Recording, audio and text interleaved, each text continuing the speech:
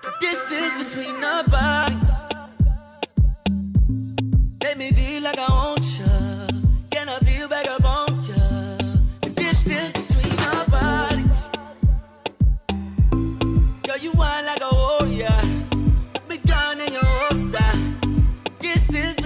Hi, I'm Cy and I teach basic dancehall for D2MG every Friday. I've been doing dancehall for quite a while now, like around almost two years.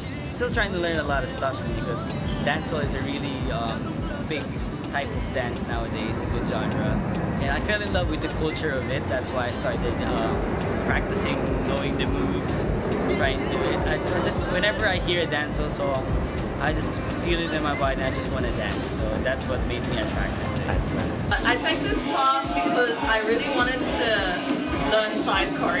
Because like I just really enjoy hanging out with Cy because it's so cool and like really groovy and like vibey. It's a lot of sass.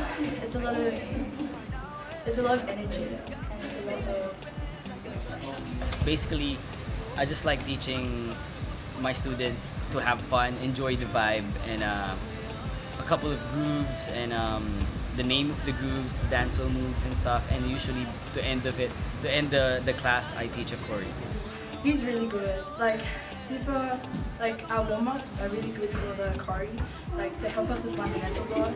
Really encouraging. Like he's always telling us to vibe on the details and What I would advise is honestly try everything. Like if you think you're not into like popping or like hip hop, just do it anyway. Just take one class because you never know. But yeah, just try everything pretty much. It's always fun. Always like we're just partying inside a studio, you know, getting together, getting to know each other. If you want to shake those booty, come on, just come and join. Wanna like lose those bellies and sweat? Come. That's all I can say. Just I'll see you guys.